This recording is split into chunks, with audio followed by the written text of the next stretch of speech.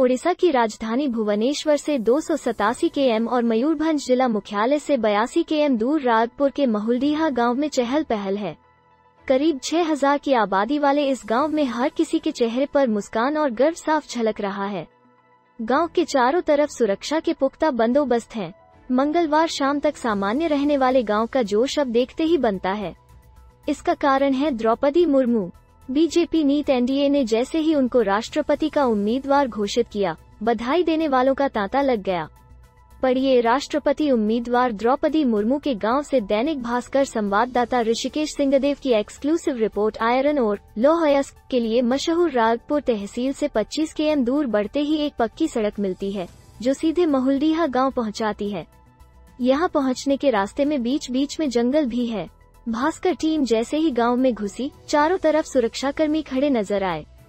ग्रामीण भी उत्साहित होकर बाहर से आने वाले मीडिया कर्मियों और लोगों का गर्मजोशी से स्वागत करते दिखे।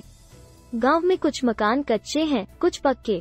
यहाँ मूलभूत सुविधा की कोई कमी नहीं है। पूरा गाँव डिजिटल सुविधाओं से लैस है। जब हम द्रौपदी मुर्मू के घर की ओर बढ़े तो उनके घर से कुछ ही दूरी पर कुछ लोग खड़े मिले। जैसे ही उनसे बातचीत शुरू हुई, उनकी आँखें खुशी से डब्बा गईं। मुर्मू को राष्ट्रपति पद के लिए उम्मीदवार बनाने पर प्रधानमंत्री नरेंद्र मोदी का आभार जताते हुए इन लोगों ने कई कहानियाँ सुनाई। द्रौपदी मुर्मू के झारखंड की राज्यपाल रहने के दौरान के किस्से सुनाते हुए कुछ लोगों ने बताया, वो इतनी विनम्र और मिलनसार है कि पूछिए मत। रांची राजभवन में तो गाँव के लोग राशन कार्ड बनवाने से लेकर ज़मीन का विवाद सुझाने की गुहार लगाने पहुँच जाते थे। इसके बावजूद उन्होंने कभी हमें निराश नहीं किया।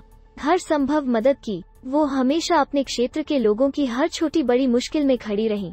हमेशा सबके लिए खुले रहे दरवाजे स्थानीय लोगों ने बताया, उनका निजी जीवन परेशानियों से भरा रहा। पर इसका असर उन्होंने सार्वजनिक जीवन पर नहीं पड़ने दिया। पति और दो बेटों के आकस्मिक निधन का आघात झेलने के बाद भी उनके चेहरे पर मुस्कान बनी रही। उनके घर के दरवाजे हमेशा गरीब और आम आदमी के लिए खुले रहे। बीजेपी भाजपा की सरकार में मंत्री रहते हुए एक तरफ़ उन्होंने अपने इलाके में पुल और सड़कें बनवाए वहीं बच्चियों की सुविधा के लिए स्कूल भी खुलवाए। अपने गाँव को डिजिटल गाँव के रूप में विकसित कराया। साथ साथ कई बार निजी तौर पर लोगों की आर्थिक मदद भी की। लोगों को उम्मीद, हर परेशानी होगी दूर दैनिक भास्कर से बातचीत करते हुए स्थानीय निवासी शुभोदीप प्रधान ने कहा, जिस तरह झारखंड की राज्यपाल रहते हुए द्रौपदी माँ के दरवाजे लोगों के लिए खुले रहे ठीक उसी तरह हमें उम्मीद है कि देश की पहली आदिवासी महिला राष्ट्रपति बनने के बाद भी जनता के लिए उनके दरवाजे खुले रहेंगे। झारखंड में कुलाधिपति रही द्रौपदी मुर्मू के साथ काम कर चुकी कोल्हान विश्वविद्यालय की पूर्व कुलपति डॉक्टर शुक्ला महांती ने कहा, यह सभी महिलाओं के लिए सम्मान की बात है। सही मायने में हम आज ही महिला दिवस मना रहे हैं। गाँव के ही अर्जुन मुर्मू ने बताया, बतौर जनप्रतिनिधि द्रौपदी मुर्मू ने इलाके में बहुत काम किया। गाँव में पानी पहुँचाने से लेकर सड़कों तक का विकास कराया, शौचालय का निर्माण कराया, लोगों को अपने बच्चों को पढ़ाने के लिए प्रेरित किया। राजनीति में जाने से पहले वह अपने घर पर गाँव के बच्चों को बुलाकर खुद भी पढ़ाती थी। सरकारी स्कूल से की पढ़ाई, कोई साथी नहीं पढ़ता था तो टोक देती थी, द्रौपदी मुर्मू ने अपनी पढ़ाई सरकारी स्कूल ऊपर बेड़ा से की थी। उनके साथ पढ़ने वाले हरिहर नंद ने बताया, उनका स्वभाव बचपन से ही बहुत सरल था। जिन सहपाठी का पढ़ने में मन नहीं लगता था, उनको टोकती भी थी। सबसे बातें करती थी, हम लोग जब स्कूल जाते थे तो हमारे पैरों में चप्पल नहीं होती थी। बैठने के लिए घर से चटाई या बोरा लेकर जाना पड़ता था। उस वक्त के हालात में भी रोज स्कूल जाती थी। उनको अगर कहीं भी धार्मिक पुस्तक मिले, उसे ज़रूर उठाकर पढ़ती थी। उन्होंने बताया, आगे चलकर वो बच्चों को मातृभाषा पढ़ाती थी। विशेषकर छात्रों की शिक्षा पर ज़्यादा ज़ोर देती थी। जीवन के शुरुआती दिनों से ही उन्हें भगवान पर अटूट विश्वास रहा है। बेटे और पति की मौत के बाद काफ़ी लंबा समय ब्रह्मा कुमारी ईश्वरीय विश्वविद्यालय के सत्संग में गुजारती थी। स्कूल के एक शिक्षक ने बताया, देश की राष्ट्रपति के उम्मीदवार के रूप में मुर्मू के चयन के बाद से ही स्कूल के बच्चों में ज़बरदस्त उत्साह है। बच्चों ने उनसे मांग की है कि वो राष्ट्रपति बनकर एक बार अपने स्कूल ज़रूर आए। उन्होंने यहाँ शिक्षा को बढ़ावा देने की लगातार कोशिशें की। महिलाओं का शिक्षित करने के लिए उनके समर्पण और सोच का ही परिणाम रहा कि झारखंड में पहले महिला विश्वविद्यालय का शिलान्यास प्रधानमंत्री नरेंद्र मोदी ने फरवरी 2019 में किया। इससे पहले उन्होंने 2010 में अपने ससुराल में करीब 6 एकड़ ज़मीन एक शिक्षण संस्थान को दान कर दी थी। आज भी स्कूल में रखी है कुर्सी, रजिस्टर में दर्ज है नाम द्रौपदी मुर्मू ने अपने जीवन की शुरुआत बेहद मुश्किल हालात में की। उन्होंने क्लर्क के रूप में काम किया, बाद में शिक्षिका के रूप में पढ़ाया। पार्षद के रूप में राजनीतिक करियर की शुरुआत की। इसके बाद विधायक, मंत्री होते हुए वे राज्यपाल की कुर्सी तक पहुँची। जिस स्कूल में वो पढ़ाती थी, वहाँ आज भी उनकी कुर्सी, रजिस्टर मौजूद है। नगर परिषद में भी उनकी कुर्सी सुरक्षित रखी गई है।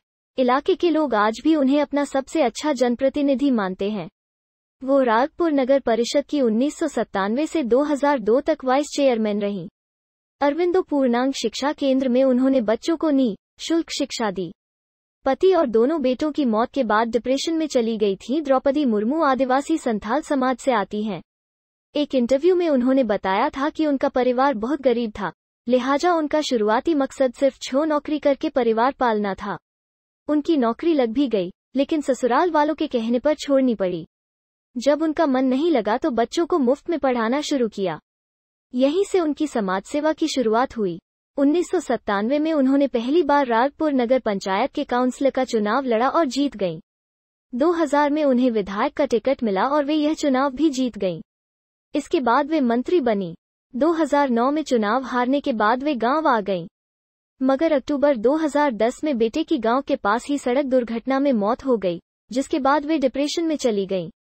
जैसे तैसे वे एक बेटे की मौत के सदमे से बाहर आई थी कि 2013 में भुवनेश्वर में दूसरे बेटे की भी हादसे में मौत हो गई।